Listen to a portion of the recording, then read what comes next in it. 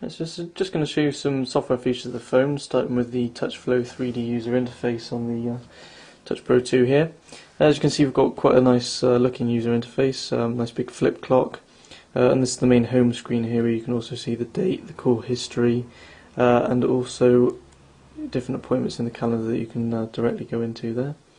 at the bottom, we've got these icons just for flipping between all the different TouchFLO 3D screens, and then some uh, shortcut keys, and obviously the notification bar at the top there. Just pop across to this first pane, and we've got the people pane. Uh, as you can see, we've got um, put favourite contacts in here. This isn't all the contacts, just uh, a selection of your favourites with their contact images for you to scroll through. You could also select them from the side here. Um, I've only put four on there, but you can actually have more than four. Um, got the name here, and then obviously their main number is underneath. Uh, and you can dial their main number with this first little phone uh, button here, and then the second one here with a little sort of office building on it is for the uh, work number. Uh, and then you can write text message or an email from these other two buttons if uh, an email account is obviously um, pre-assigned to the contact. let's move on now to the SMS pane for SMS and MMS messages. As you can see we've got this nice white floating text here.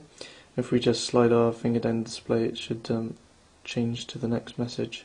As you can see it's quite nice looking quite intuitive interface. Uh, here you can see in the email uh, pane we've got three unread emails as you can see from that little uh, green circle there in various different accounts. Which again we've got down the side here we can select different accounts simply by uh, sliding our thumb up and down between these little icons. Uh, and you can go through your messages again just by swiping up and down on the display. Just to go into one you just tap it and we should get it full screen like that. I also get this little option here to uh, call the sender, so if I just tap that button it would directly call the um, default number for Peter Griffin there. Let's move on to the next pane, we've got the weather pane, oh, just missed that. Uh, and it shows you current weather in various different areas, again you can just swipe down to go between different areas that you can preset from a, a large list of different places. Um, and then the bottom here it will show you the next four days forecast as well. Um, so we've got not very nice weather in Tokyo by the looks of things. Um, go along to the next one, which is the internet pane. Uh, and you can just launch the browser with this big launch browser globe button in the middle, or we can search Google there with the search bar at the top. Also got YouTube that this uh, seems to be preset to the top shortcut there, and then you can set up to four different new push pages, which the phone will automatically download for you at preset intervals. So um, just tap on the mobile burn one here. Now that should pop up fairly quickly because it's downloaded uh, one day and two hours ago apparently which is a bit long for my liking but there we go. As you can see it's very tactile very quick to load up the page and uh, very quick to move around which is quite good. Yeah, just exit out of that. Um, as you can see at the side here as well we've got these little green arrows which uh, just mean that the device has actually updated these pages uh, and then once we've actually looked looked at them, uh, the arrow greys out there to tell you that you've actually read the page and there's no new information for you to look at. Move along to the next one, which is the photos and videos pane, uh, and you can just again swipe to scroll between all your different photos and videos. Photos just come up in rectangular boxes, you can see there.